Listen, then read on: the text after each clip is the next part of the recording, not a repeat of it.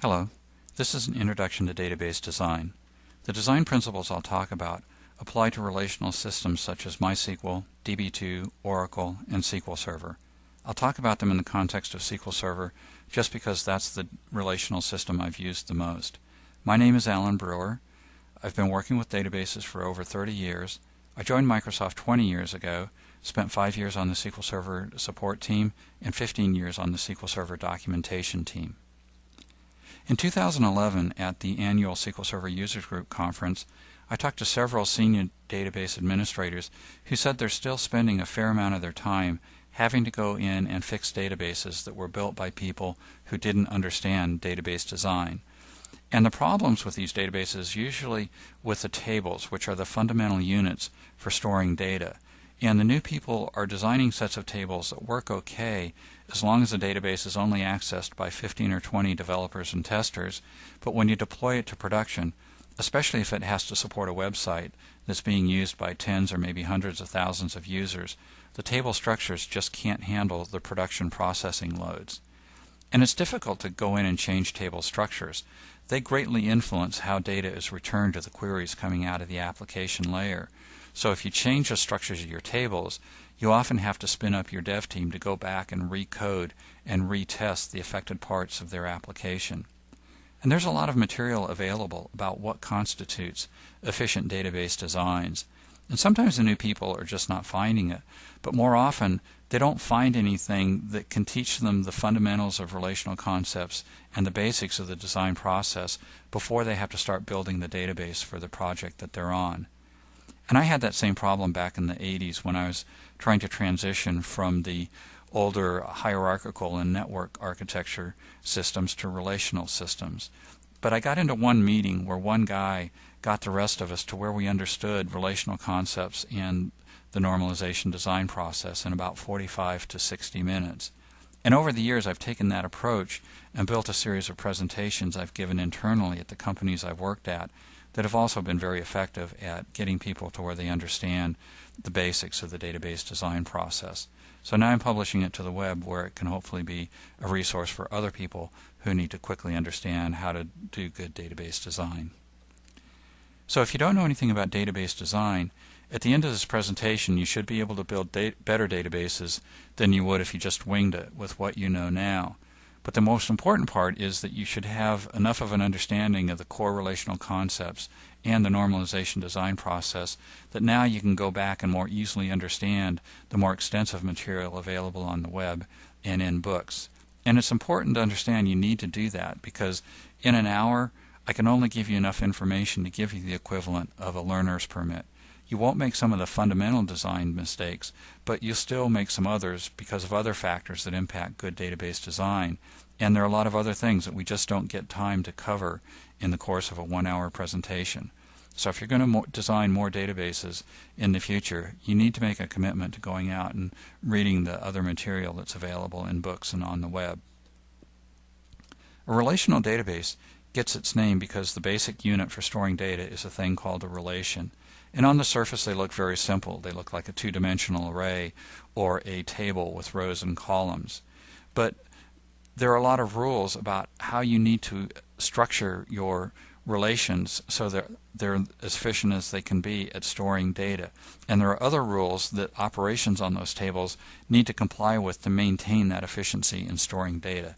And those rules were originally defined back in the 1800s by the mathematicians who were coming up with set theory they realized there were certain classes of sets that had this two-dimensional array type format that were very efficient or could be very efficient at storing data. And they came up with mathematical proofs for the sets of rules that you needed to follow to get a set of relations that would be highly efficient at storing data.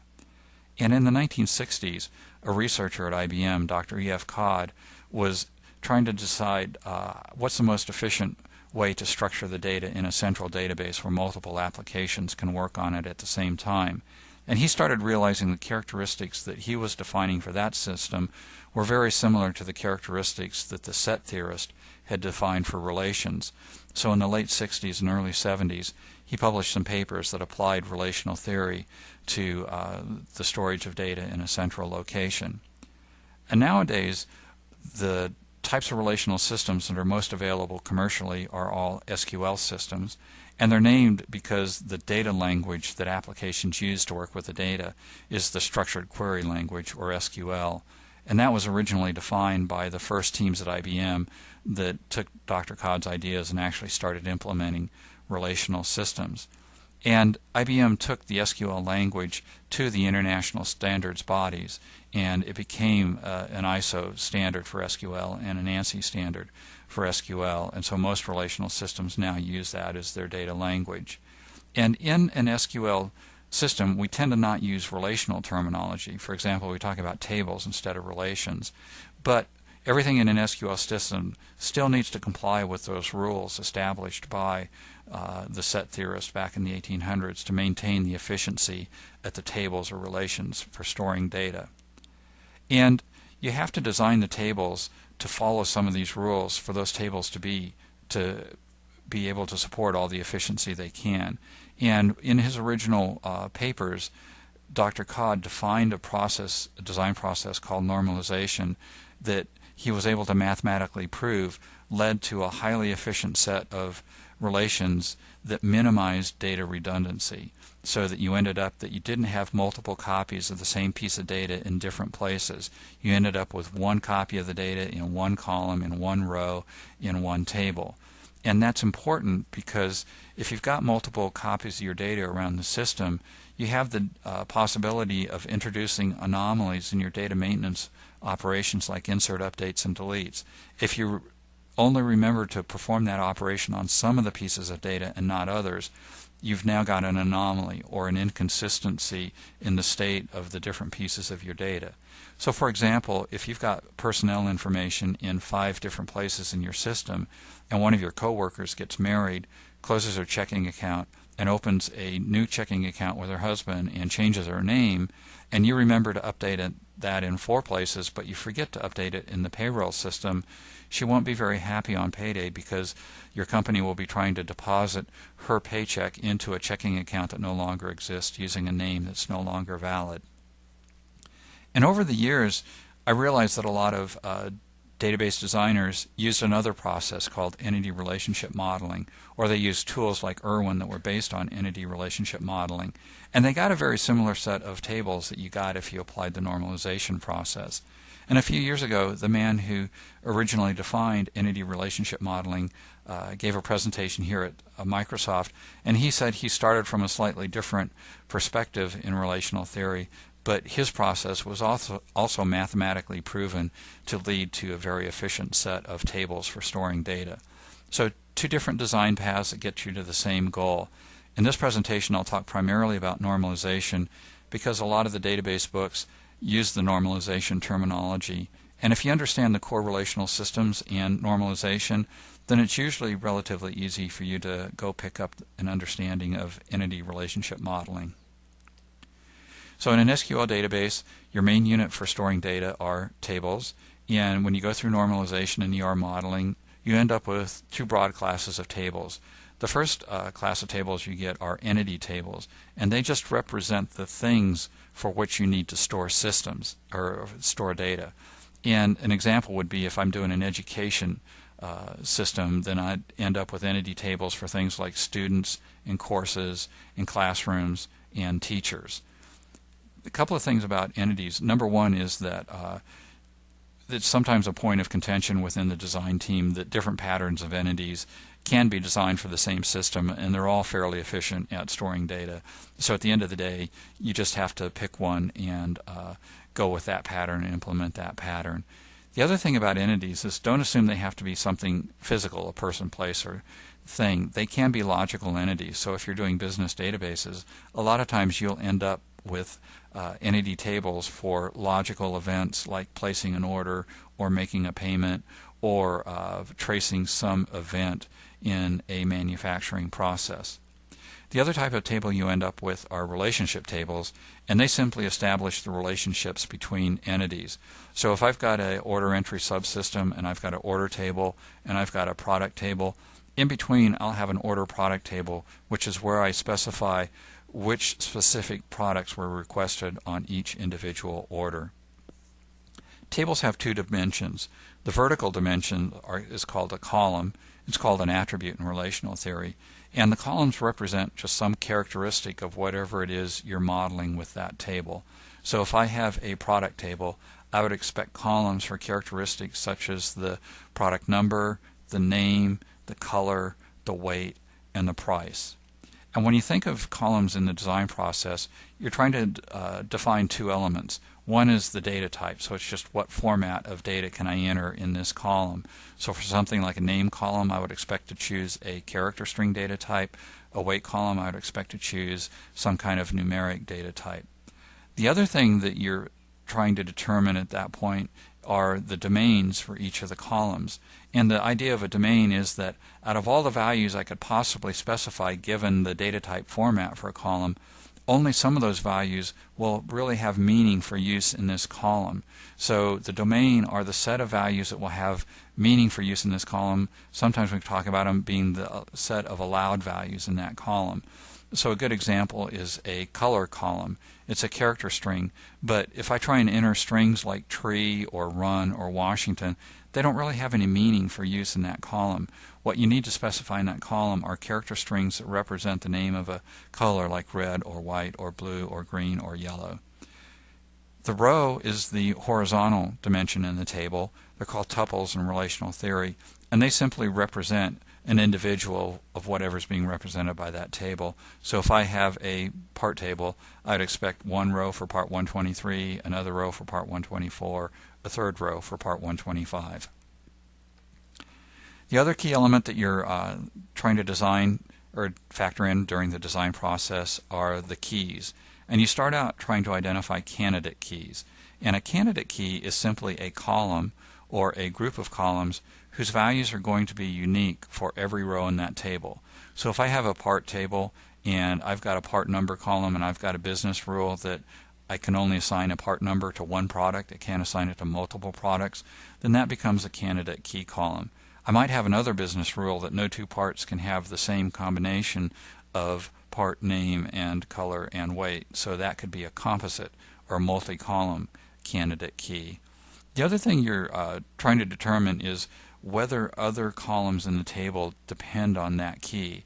So if I go to a, a database and I say retrieve the part uh, row that relates to uh, part number 123, that key value then determines the values that show up in all the other columns. They should be only the values that relate to that specific part. If I want to see values for another part, I need to come into the database and say, show me the row for that other part. So those other columns are said to depend on that key column. And if you've got a large table with a lot of columns, you may have several candidate keys. And out of those candidate keys, you want to pick one that's going to become the primary key or the primary identifier for that table. And this is an area where I really recommend that you do further reading in the books and the web material because there are a lot of things to consider when picking primary keys. But they need to have some characteristics. Number one, all the columns in the table should depend on that primary key. Another thing is the primary key values should be relatively small. They are the things that you're going to copy out into all your relationship tables to establish your relationships between entities. So you may end up making hundreds or thousands of copies of a given uh, primary key value out in all your relationship tables. So the smaller they are, the less data the database has to wade through to find the right answer. So it can get to be a performance issue. The other thing you want is those key values to be relatively stable. You don't want to have to be constantly updating your primary key values. And the way that you get to having a stable value is you pick a column that doesn't have any inherent meaning as a characteristic of that particular product. So for example, if I've got my part table, part number would be a good candidate key. It's or a good primary key. It's relatively short and part numbers really have no inherent meaning within the value of a part number key. If I pick the other candidate key of the combination of part name and color name and weight, now I've got problems because part name and color name actually have some inherent meaning. And if I'm trying to build a database for some uh, company that's in the fashion industry, those names can change every year because the marketing guys will come in and they say the product names and the color names that we chose last year really resonated with people looking for last year's fashions, but they're not very exciting for people looking for this year's fashions, so we need to change them to names that resonate with people looking for this year's fashions. So you want to keep it uh, fairly small. Sometimes when you look at the candidate key columns that occur naturally as your uh, process of building out all the uh, business requirements for the data and coming up with columns that satisfy all those business requirements. Sometimes in those naturally occurring columns, you don't find a candidate key that would make a good primary key. And at that point, you start thinking about internally generating uh, another primary key column where you internally generate, uh, say, integer numbers or something to use as a primary key. And there are a lot of other considerations you need to factor in before you make that decision. So if you start thinking that you need to do that, go look at some database design books and understand uh, all of the different factors you need to consider before you make that decision. The other kind of key you have are foreign keys, and they are the things that establish relationships between tables. None of the SQL systems I've worked with uh, have any kind of physical linkage between tables. What happens is that you have a foreign key column in one table that has the same domain as a primary key in another table. And if I find rows in the first table for which I need information out of that other table, what I'll do is I'll take those foreign key values and do, then do a join to the second table on its primary key to find the rows that have that additional information that relate back to the rows that I've had in my table. So an example would be if I've got an order table that has order ID as its primary key, and then I've got an order products table that has a compound primary key that is an order ID column plus a product ID column. If I find rows in the order product table that are interesting to me and I want to see who ordered them, when the order was placed, where they got shipped to, then I'll take the order ID values for those rows in the order products table and do a join back to the order table and look for the rows that have the same values in the order ID primary key over there so I can get that information about those orders. This is just a simple uh, visualization of how you can conceive a table uh, looking. This is a simple part table. It's got five columns. It's got a part number, name, color, weight, and cost column. I've chosen part number as my primary key, which is white shaded a slightly darker color and it meets those requirements of being relatively small, not having inherent meaning, but all these other columns depend on it. When you go in and design a set of tables in your database, you follow a overall process that's similar to how you design things for any computer-based system. First you go out and interview your uh, end users and establish all the requirements. Then you come back in and you define a logical model and in this case the logical model just uh, represents the structures of the tables that you want to build. You're not taking into consideration anything you have to do that's specific to the database you're using for this project. The logical model could be implemented on any relational system. And then once you've verified that back with your users and got sign off that your logical model will support all the requirements, then you'll build the physical model. And that's where you uh, come up with the specific scripts and SQL statements needed to create the tables on the database that's being used for this system. And some things to think about when you're up in that first phase. Uh, when you're in, if you actually go out and interview end users, uh, at the same time, the application designer is probably interviewing the same user. So you guys need to work together to go out and maybe interview them at the same time so that you don't annoy them by the two of you asking the same questions at the same time. The other thing is that the application designers and the application developers, you should consider them as your users because there may be some data requirements that come from the internal processing of the application that none of the actual business end users understand. And so you have to interview the application designer and the developer to understand what those internal requirements uh, should be.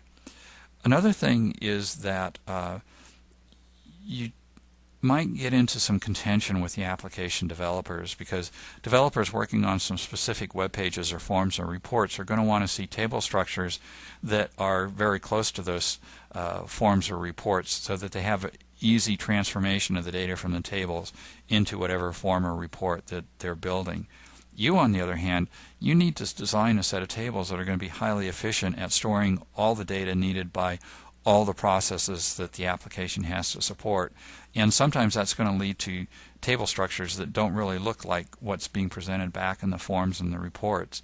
And so you really need to stick up for the database design that's going to be highly efficient for meeting the processing needs of the application and work with the developers so that they understand the kinds of SQL queries they need to build to take the data that's in the table structures you have and transform it into the format that they need to present it in uh, forms and reports and web pages. Step number two is the critical step. If you don't come up with a good logical design, there's nothing you can do later in the physical design or after you've rolled the database into uh, production to deal with big problems in your logical design. And this is where it's crucial to do a, a systematic design process like normalization or ER modeling to ensure that when you come up with your set of tables, definitions in the logical model that you have the right set of tables and that they're going to be highly efficient at storing data. When you get down to the physical model, uh, that's where you can start taking advantage perhaps of extensions to SQL that's offered by whatever database you're using for this project. And at that point, you really need to be thinking about I've taken this excellent uh, logical model. I'm now just going to go through a relatively straightforward uh, step of creating the create statements that will create that set of tables. From this description, don't assume that database design is something that happens once in a development cycle. In today's uh, world of iterative development, it doesn't work that way. What is going to happen is that some early sprint in the dev cycle, you're going to come in and you're going to do your initial database design at a point where you understand the fundamental uh, data requirements for the application as a whole, and you know for sure the uh, database parts that you have to come up with to support whatever functionality is being developed in that particular sprint.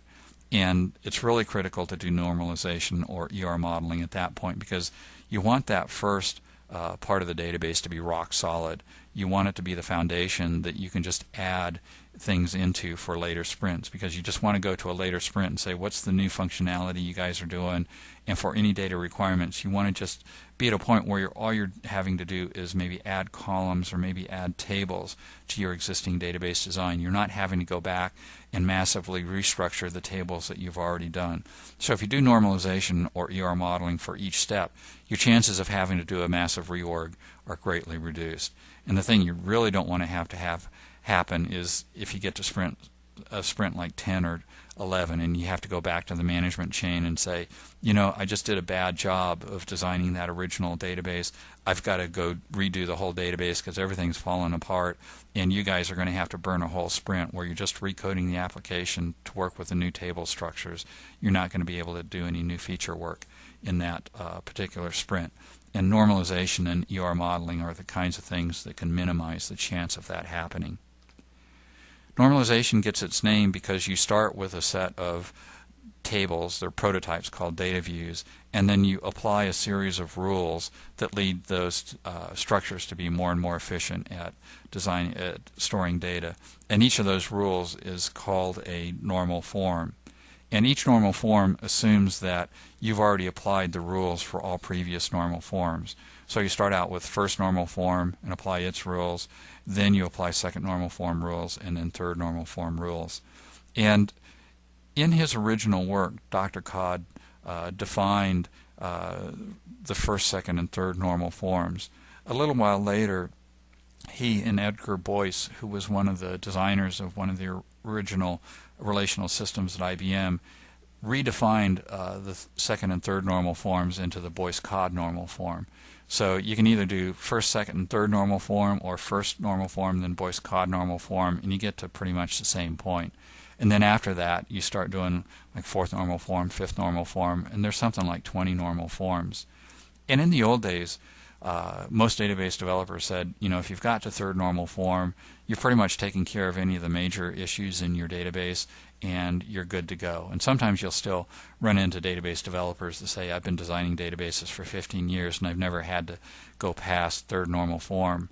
But fourth and fifth normal form deal with complex relationships, and as databases get larger and more complex, there's more of a likelihood that you might get impacted by uh, the issues that fourth and fifth normal form are designed to meet. So it's a good idea to go read the books and get more information about fourth and fifth normal form and evaluate your database against those normal forms too. So back in the days when uh, third normal form or Boyce Codd were the design goals, somebody came up with this cute little phrase that by the time you get to third normal form, all the values in a row should depend on the key, the whole key, and nothing but the key. This is a one-page summary of the normal forms and the rules you apply to go from one normal form to the next. And then on the next page we'll start an exercise where you'll actually see these rules in action.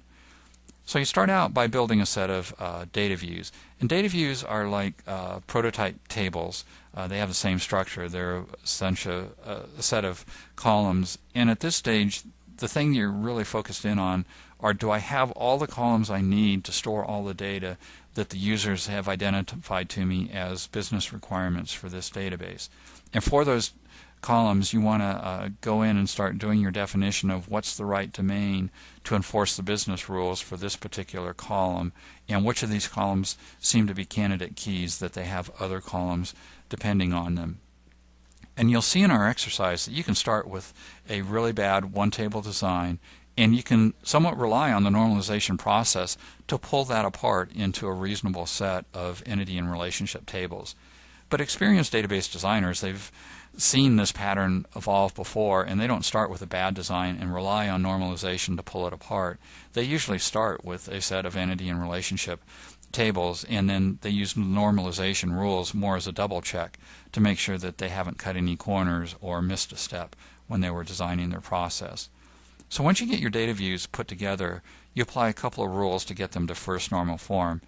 And the first rule is that you want all the columns to be reasonably atomic or atomic enough to support your business requirements. So you want each column to be a single unit of information. You don't want columns to have subparts. So for example, uh, if I've got a name column, I don't that's not a good solution because in the name I can have a name prefix like Mr. and Mrs. I have first name, middle name, last name. And database engines are actually engineered on the assumption that your columns are atomic units of meaning. And they don't have syntax that you can say something like, okay, in this name column, uh, sometimes a middle name will be the third node, sometimes it'll be the second node, sometimes it won't be there, but go ahead and create an index on that anyway. And so if you need to uh, apply indexes to the separate nodes, or you've got business processing for the separate nodes, you don't want to keep trying to have to implement application logic to pull those pieces out of the individual nodes. And so you really need to split that out into multiple columns. And this is another area where you sometimes get into some heated discussions about what is the right level of atomic uh, characteristics to get to because if you talk to somebody who's a computer scientist, they'll say, well, you know, a character string is just an array of characters, and if you're telling me I have to get to atomic units, those atomic units are each individual character. So you're trying to tell me I need a column for every character in my table, and that just doesn't work. And what you really need to use as your guiding light is, uh, do I make any business use or do I have to apply any performance optimizations to any of the subnodes within this column? If not, you may elect to leave it uh, together. For example, uh, if you're doing phone numbers for a U.S. company, U.S. phone numbers have a three-digit area code, a three-digit exchange within the area code, and then a four-digit phone number within the exchange. And you may elect, if your business processing doesn't ever do anything, you never apply any, any, any analytics to try and determine what customers and what exchanges buy what uh, products, then you may elect to leave it in there if all you're ever going to do is use it to call back to your customer. But if you make that decision, there should probably be a little warning bell going off in the back of your head that all it takes is one new business requirement coming in that is going to make you say, well, now I really do need to split that apart into more atomic units. The other thing that you're looking for at this time is if you've got any sets of columns that repeat multiple times, or if you've got keys that repeat multiple times. And we'll see an example of that in our exercise. And you want to move those repeating uh, groups of columns out into a separate table. So once you've applied those two rules, you've got to first normal form, you'll be in a state where all your columns depend on a key, and all the columns are atomic, And then you apply the rule to get to second normal form, which is you want to remove partial key dependencies. And the example we'll see is we'll have a table that has an order ID uh, primary key combined with a part number uh, primary key, but some of the columns are only going to depend on part number. They have no dependency really on order ID. So we want to pull those apart uh, to create a, a, separate part table. And once you've applied that, you should be at a, uh, a second normal form where all the columns depend on a whole key. And then the rule you apply to get the third normal form is you remove any non-key dependencies. And the example we'll see is we'll have an order table that has a lot of customer columns in it that relate to a customer number, but they really have no dependency on an order ID key, so we need to move those apart out and create a separate customer table. And once you've got to third normal form, you're at a state where all the columns depend only on the primary key, the whole primary key, and nothing but the primary key. And then fourth normal form, uh, you want to get to a state where you don't have tables that are trying to represent multiple independent multi-valued facts because those can lead to an explosion in data redundancy. And I've added a slide to this deck to show you the basic pattern that you're trying to uh, fix with fourth normal form, and we'll talk about that after the exercise. So uh, this is our exercise. Uh, this is actually an interview question I've used for the last 25 years or so for a support engineer candidate or a writer candidate. I would give them this form and I would ask them if you normalize the information on this form, what would be the set of tables you would expect to see? So the first thing you do is you start building out your data views and you list the data views, you make sure you've got all your columns, and for all the columns you go in and determine uh, what the domain should be for that column, what business rules apply to that column, and you then start determining the candidate keys and start understanding which columns have dependencies on other columns, and then you want to bracket or somehow identify any repeating groups that you've got in your data views. So I've, for that one form, I did the rookie mistake of saying I got one form, that's one table, so I have this order table. And in here I've started thinking about what are the columns, and for each column, what is its name? I'm taking a first guess at the data type I'll assign, and these are SQL Server data types. Uh, I start thinking about what's the domain, what are the business rules for this column, and is this column a key? And then down uh, in the part columns, the number, description, color, those are the things that are representing that box in the middle of the form where you could specify up to six different uh, parts on each order. So these would actually need to be a repeating set of six of these columns. So it's bolded to represent that it's a repeating group. And when you start thinking about uh, things like domains, you have to start thinking about things like the order date column, which is the second from the top. I've assigned a domain that says business date because in my interviews I've uh, found that the store is only open on Monday through Friday. It's closed on holidays. Therefore, it's not valid for somebody to be able to place an order on Saturday or Sunday or on a holiday. So I need a domain that says I can enter those kinds of dates into this column. And then delivery date. I found at the store, all they do is hand the packages off to UPS or FedEx, and they deliver anytime. So it's valid to have any day of the week or even holidays represented for a delivery date. So we start looking at this in terms of the rules for first normal form, and the first problem we've got is that part is a uh, repeating group, so we need to pull that apart into uh, separate columns. And then name and address and phone number have these problems that there are groups within, there are nodes within those values. They're not atomic columns. And so the rules to get to first normal form are, first of all, any of those columns that are not atomic and uh, have subnodes that we need to work with as part of our business rules, we need to separate those into separate columns. And then we also need to remove the repeating groups. And what we do is we place the repeating groups in a new table, and the key of the new table is whichever uh, column that group of columns had a dependency on, in this case part number, but then you also include uh, the primary key from the source table, and it's going to operate as a foreign key to establish a relationship between these two tables. So let's look at how this uh, plays out. So you can see over on the right, we've moved all those part columns out and created an order parts table, and we've put an order number column as one of the two columns in the key for this new table, and it's also a foreign key back to order number back in the order table. And back in the order table, you can see the italicized column names where uh, we took name and uh, I just quickly split it out to first name, last name. You would typically it, split it out to a name prefix and a middle name also. And then on the address, I made some simplifying assumptions that I'm only operating in a city, I'm shipping things that are too big to fit into a post office box, therefore the only address format I have to worry about is one where I get a street number, a street name, and then an apartment or office number. So I've split the address columns out like that. And then I've made a simplifying assumption on the phone number that we're never going to do any analytics on it. The only use we're going to make of it is to call back to the customer so for the business rules as I understand them now, uh, it's okay to leave it as one column. So now you need to apply uh, the rules to get to second normal form and you need to remove partial key dependencies and you've got that problem over in the order part table. The part description, color, weight, and cost columns, they only depend on part number. They don't really depend on order number. And if that means that if I leave those columns in the order part uh, table, that means I have to duplicate those values for every order that references the part. So I'm going to start increasing my data redundancy problems and make it harder for the database engine to wade through all the data to find the right answers. So I really need to pull those over into another table.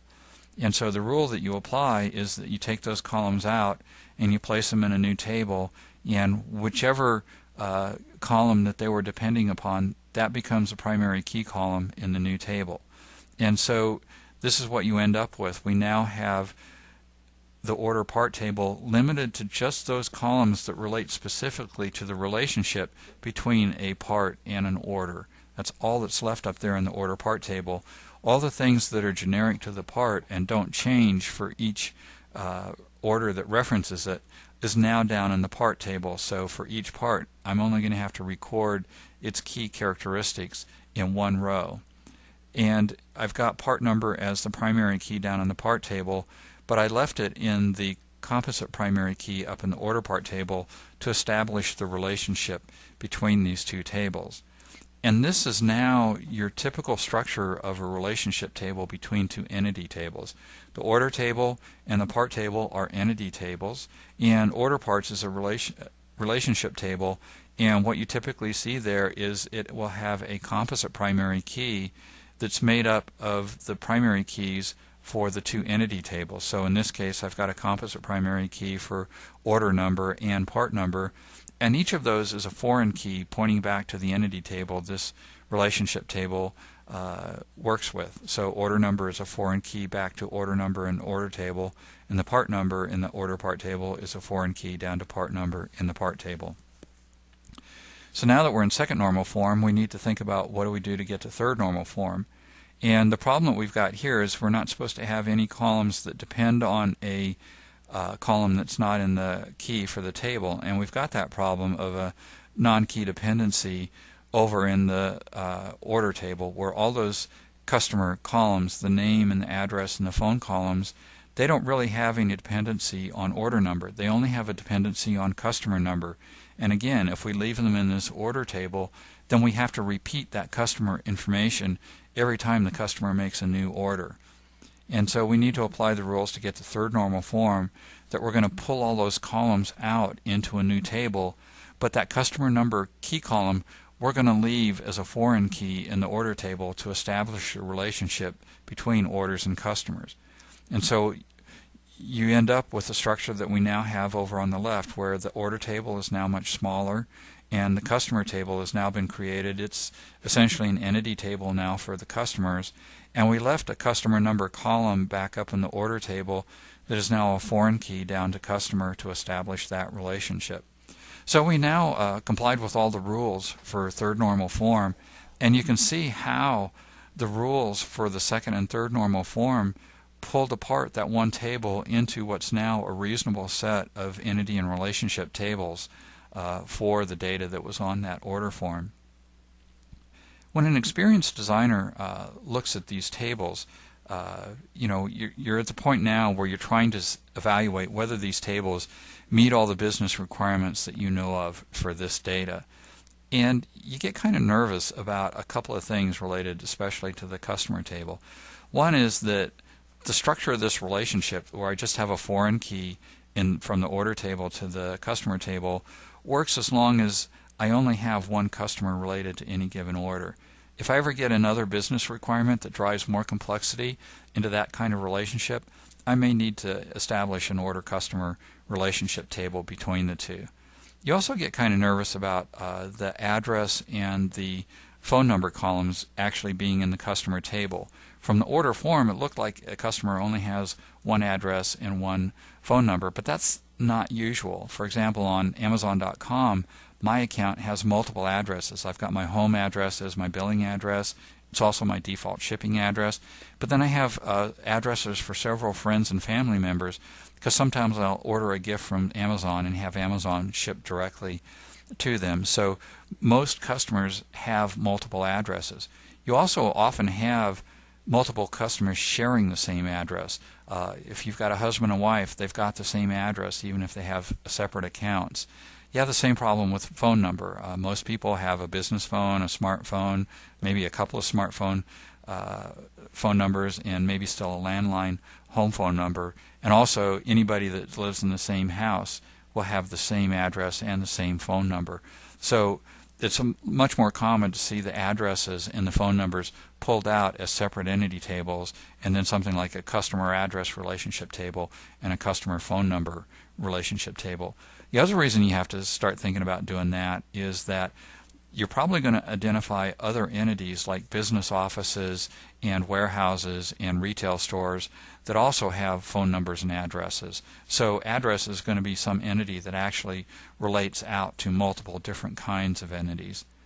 Another problem you're going to have to deal with, especially if you start doing uh, sales outside of a narrow uh, geographic region, is you're going to start running into uh, phone numbers that have different formats and addresses that have different formats. If you start delivering throughout the United States, you've got to deal with post office box formats, street address formats, rural route formats. If you start delivering to multiple company countries, now you've got a lot of different address formats, and you don't have just a zip code. You now have postal codes, and they all have different formats in different countries. Same thing with phones. Phone numbers have different formats for different countries. And so you've got to start thinking about those kinds of things uh, and realize that some future business requirements may cause you to uh, pull those things out into separate tables. Another thing to talk about is the idea of storing a uh, calculated value. So in the order part table, uh, we've stored the order part cost, which is easily calculated by just multiplying the order part quantity times the part cost column down in the part table. And in the old days, when disk space was astronomically expensive compared to today, you tended to not want to store values you could easily compute in the database. It was cheaper to just calculate them whenever you needed to refer to the data. But if you don't store calculated values like that, you may drive other requirements for your database. So, for example, if I've got a requirement to be able to audit my orders four and five years in the future, I've got a problem that part prices don't stay constant. So if I'm not storing my calculation of the order part cost, it may drive a, another requirement that now I need a part price history table to be able to recalculate those values four and five years in the future. I've got the same problem over in the order table. The tax column is just multiplying the subtotal times a tax rate. But again, tax rates don't stay column constant. So if I need to reconstitute that value for an audit four and five years in the future, I may need to uh, create a tax rate history table. The other thing that you're doing uh, after you've normalized a form is you go and you start normalizing all of the forms and reports and web pages and uh, trying to come up with things that meet all the data requirements that your database is going to have to support. And as you go out and uh, normalize these other forms and reports, you're going to start getting a lot of the tables that have the same primary key as tables that you've already generated. And so in your final design, you need to merge all those tables together. So for example, we normalized an order form. We got a part table with part number as a primary key. If I go normalize an inventory warehouse form, I'm likely to also get a part table with part number as its key, and I need to merge those two tables in the final table database design because you want to get to the point where there's only one table that records the information that any part of your system needs to know about uh, the parts that your company is selling. And as you go through and do those things, you're constantly wanting to go back and validate your table structures against all of the business uh, processing requirements that the system has to support. So let's just quickly look at how the data actually goes into the table. So I've taken a form, I filled it out. We assume this is the first order form that we've entered in for the system. And when you click submit, these are the rows you're going to have in the tables. You're going to have one row in the order table that records the information specific to that order. That referenced one customer, so we end up with one row in the customer table. If that same customer now comes in and places a second order, we'll get a new row in the order table, but we won't get a new row in the customer table because we've already recorded the information for that customer. And this uh, particular order referenced four parts. So we end up now with four rows each in the part table and the order part table. But they're recording fundamentally different information. The part table has information that's generic to that part regardless of how many orders it's referenced on the order part table is the information that's specifically specific to the relationship between this part and a specific order. So again, if I come in with a new order that references the same four parts, I'm not going to be inserting any new information in the part table because I've already recorded the information for those parts. But I will be adding new rows to the order part table to show that those parts now have a relationship to a new order. And that uh, is a typical kind of pattern that you start seeing is that your entity tables tend to have relatively few uh, numbers of rows and your relationship tables have relatively large numbers of rows. So, once you've got to the third normal form, we'll talk quickly about fourth normal form. And the rule for fourth normal form is that the tables should all be in third normal form, and you want to go in and make sure that none of your tables uh, contain multiple independent, multi-valued facts about an entity. And you start seeing that uh, potentially in some of the relationship tables. And so if I've got an education system, a class is simply an agreement that a group of students will show up at a specific room at a specific time, and an instructor will also show up and will start guiding the students through the curriculum for a particular course. So it's really just a relationship between a course, students, time period, uh, a classroom, and an instructor. And so you might think, well, okay, it's one thing, it's one set of relationships. So let me model that as one relationship table. And this starts having a problem because these facts are not really that dependent upon each other. And if you start having multiple values for some of these facts, you start exploding your data redundancy. And so if I've got 25 students that sign up for a class, I need to have 25 rows in this table. But when I was in university, classes had two typical patterns. They were either an hour on Monday, Wednesday, Friday, or they were an hour and a half on Tuesday, Thursday. So if this is a Monday, Wednesday, Friday class, I now have to represent those three periods. But I need to apply each of those three periods against my 25 different students. And so now, even though there's not that uh, direct a relationship between them or a dependency between them, now I have to take my 25 rows and represent that for the combination of the three new values. So now I explode out to 75 rows. And sometimes in university, like my introductory chemistry physics class, it had two professors. It had a chemistry professor and a physics professor. So now if I've got two instructors assigned to the same class and I've got three periods and 25 students, I blow out from 25 to 75 to now 150 rows just to record that data. And I'm duplicating my student information and my period information and my instructor information like crazy. And I'm just creating a big chunk of data that makes it harder for the database engine to wade through to find the right answer for given queries. And the kind of structure that works much better, since these things don't have strong dependencies on each other, is to represent them as individual relations. So the better pattern is that your class table becomes a lot more like an entity type table, and then for each one of these uh, fairly independent dimensions, you have a relationship table. And so my uh, class student table, I just do the 25 rows in there and I'm done regardless of how many periods and how many instructors this class has. For the class uh, period table, I just put in my three rows there. I don't have to duplicate out my 25 rows to create 75 rows. Same thing with the instructor table. If I got two prof professors, it's just two rows in there. So instead of having to have 150 rows of data to represent the stuff that's important for this particular class, I end up representing the same information with only 30 or 35 rows. And so it's a much more efficient structure. Uh, but this is another area where I strongly recommend that you pick up a database design book or find a web part that dives into fourth normal form in more detail and also find something that talks about uh, the fifth normal form and its requirements. So once you've uh, done your logical design, you implement your physical model or your physical design. And the main thing I want to say at this point is to address the most common mistake I see new people making at this particular time, and that's that they use some relatively simplistic rule to assign indexes, and uh, especially clustered indexes. They'll say something like, uh, primary key, that's a really important identifier, so I'll just by default assign uh, my clustered index to my primary key. Unfortunately, there have been Microsoft products that made that same bad assumption.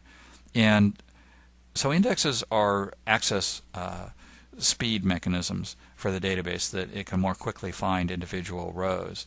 And what you really want to do for your indexes is find out what's the pattern where the where clauses and all the SQL statements coming out of the application reference the columns in this table. So a clustered index is the fastest access method on a table. Uh, a non-clustered index is the next fastest. And then if you got a table with no indexes, the database has to scan the table all the time, and that gets to be a performance hog. Um, and what you really want to do is apply your clustered index on whichever column or set of columns is most frequently referenced in the where clauses of all the SQL statements coming out of your application. So if you do an analysis and you find out that 75% of the time uh, an SQL statement references this table, it's got a where clause that says something like where part name equals a specific value, then you want to put your clustered index on uh, part name, and you want to put non-clustered indexes on any other columns that are uh, usually referenced in the where clauses. Where you might need to put the clustered index on your primary key is if you find out that almost all the SQL statements referencing a table are doing it by doing a join from some adjoining relationship table where they're joining in on the primary key. Yeah, at that point it's probably the right answer to put the clustered index on the primary key. But a lot of times it's really not the right answer. And it's sometimes hard to figure out what are all the where clauses of all the SQL statements coming out of my application layer. And so most of the databases have a tool, like SQL Server has a database tuning advisor, where you can do a representative trace of the SQL coming out of your application and run that tra trace into the tuning advisor. It'll analyze those statements against the tables and give you a recommendation on the set of indexes to apply to those tables. So it's much better to do that than try and assign uh, indexes based on simplistic rules. So now you understand the fundamentals of uh, the structures in a relational set of tables and uh, the fundamentals of the normalization design process. And you need to uh, keep learning more. And one thing you need to do is keep practicing because actually having to come up with uh, table designs in a practical sense is where you really start uh, thinking through and understanding the normalization rules. And don't just wait for the next project to come in where you're going to be the database designer. Just go out and pick some form or some report or some web page and come up with a set of tables where you've normalized the information uh, that you'd have to store for uh, that web page or form or report. You really need to go out and pick up some uh, good books on either database design or data modeling. And some examples here, there's a guy named Louis Davidson who's written a really good set of books I like on how to design databases for the different releases of SQL Server. This is his latest book for SQL Server 2008. He's got a pre-publication notice on Amazon that he's uh, updating this to work with the next release of SQL Server, which is SQL Server 2012. The other thing is if you're working with another database system or you just want a general database design book, uh, what I've done here is I just went to Amazon, I searched on database design, I ordered by average user rating, and you just pick a database design book that's got an average of four or five stars and is relatively recent. The other thing to search on would be data modeling. Uh, that's a very closely allied field. Another thing is you need to learn as much as you can about SQL. Uh, sometimes because you're going to be the person who knows the most about databases, so you need to be able to help your developers build efficient SQL queries, or you need to uh, you'll find sometimes that performance problems in the database are because of poorly formatted queries coming from the application layer. But you also are going to be using SQL uh, to go out and build your databases, deploy your databases, and maintain the databases and monitor performance. Uh, so the more you know about SQL, the better you'll understand how to design a good database to meet the requirements, of the SQL statements from your application. It's also a good idea to learn as much as you can about the internals and the specific behaviors of whatever database system uh, you're going to implement your database on. And in the case of SQL Server, there's this excellent series of uh, books called Inside SQL Server 2008, where the users have used SQL Server for uh, 15 or 20 years or more. They also have had chances to come in and interview people in the dev team. So it's just this amazing wealth of information about how SQL Server works. And there's some excellent websites out there that you need to start finding for whatever database system you work with. In the case of SQL Server, there are places like SQLpedia.com and SQLServerCentral.com. SQLServerCentral.com has uh, a huge number of uh, really good blog articles about SQL Server, and they've got a set of forums where uh, you can ask questions of other customers. And that's the other thing you need to really focus in on is finding out where the community of users of your database are asking each other questions out on the web. Start finding out the set of forums that they're using. In this particular case, Microsoft has a set of something like 40 or 50 forums on MSDN and TechNet that are related to different aspects of using SQL Server and its OLTP and BI tools. And we've actually got a forum that's specific to asking questions about how to design databases for SQL Server, and that's the link I've got here. As I mentioned, SQL Server Central has another set of forums. And when you get into those uh, forums, start identifying people who are giving a lot of high value answers. In the case of SQL Server, if you see somebody who's marked as a SQL Server MVP, Microsoft has determined that they're doing a lot to support the community with high value presentations or books or blog articles or answers in forums. And so once you start identifying them, then you go out and start doing things like friend them in uh, Facebook or follow them on Twitter and see who they're following on Twitter and start following those other people. When I first went into Twitter, I just went out and I picked uh, 10 or 12 uh, SQL MVPs and a couple of people from the dev team, and I just saw who they were following. And within two or three hours, I'd built out a list of seven or eight or 80 people I was following for information on Twitter about SQL Server. One thing about uh, when you go into forums and start asking questions, make sure that you use database terminology. In particular, talk about databases and tables and columns and rows. Don't talk about files and records and fields because that's kind of a red flag to all the other people that you don't understand even core fundamentals about database design.